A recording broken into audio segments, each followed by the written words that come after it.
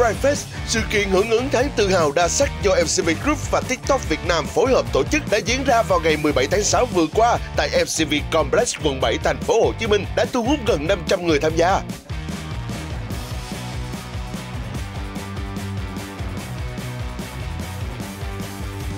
Sự kiện lan tỏa thông điệp For Your Pride, tự hào đa sắc bên cạnh sự xuất hiện của các đại sứ Diễn viên BB Trần, người đẹp chuyển giới Đỗ Nhật Hà, Rifest còn là nơi hội tụ của các nhân vật nổi bật trong cộng đồng như diễn viên Mai Thành Tú, creator Vinh Gấu, Khôn My Duy, Kha Duy Lê, Cáo Nhỏ, người mẫu Bolo Nguyễn.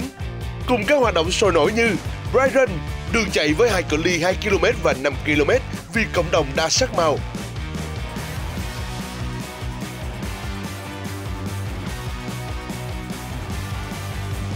Pride Workshop nơi sẽ chia kiến thức vì một cộng đồng đa sắc năng động, khỏe mạnh. Bright Icon, sân chơi cho các thành viên LGBTQIA+, thể hiện bản lĩnh và cá tính,